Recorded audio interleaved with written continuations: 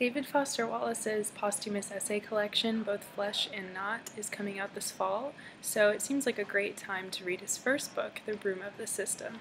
It's a lot like Infinite Jest because it has the same smart, playful language, but it's a lot more digestible, and I found myself laughing out loud re reading it on the subway.